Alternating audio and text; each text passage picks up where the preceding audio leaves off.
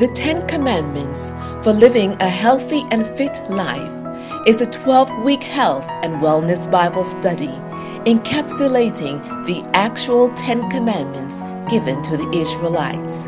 This journey combines the study of God's commandments in a refreshing and unique way with implementations of bi weekly health goals.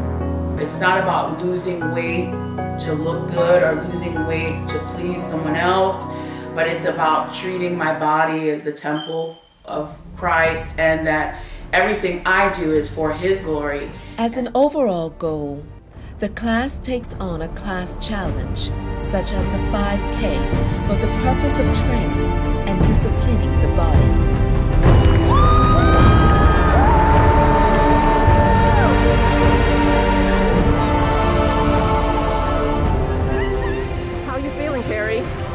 You just did something you've never done before. How do you feel?